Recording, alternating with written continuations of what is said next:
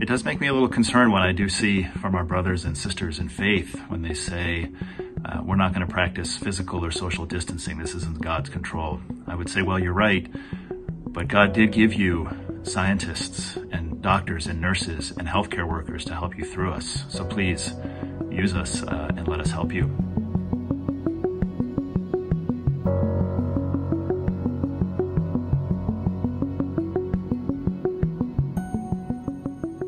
My team of infectious disease physicians is embedded inside the ICUs, and really our role here is to help the teams make the best possible treatment decisions for patients who are critically ill with COVID-19 disease.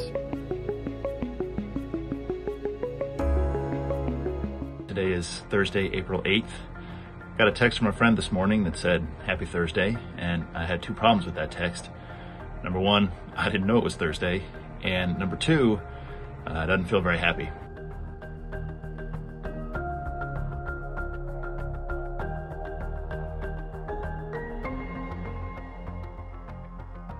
One of the things that my team helps out with um, is trying to decide um, really how best to take care of these patients. Normally we would follow the standard of care, and the standard of care is the steps that doctors will take based on years and decades of experience in dealing with the disease. But for COVID, there really is no standard of care, and so we have to design one from the ground up.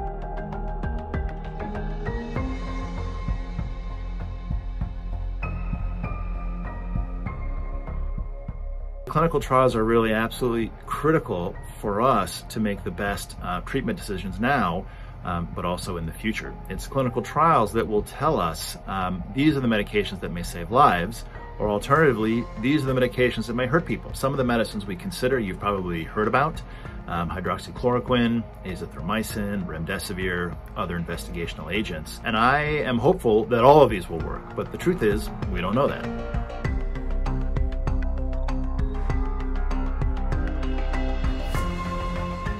I still don't know if this COVID pandemic is a war. It can be pretty dehumanizing after a while, being in the hospital with um, patients hooked up to the ventilators and all the IVs and you can't speak with them. I think we're still just as scared as the rest of you um, about getting COVID, but it's something about this is what we this is what we do. This is what we were trained for. And so if we can help out, why why wouldn't we help out?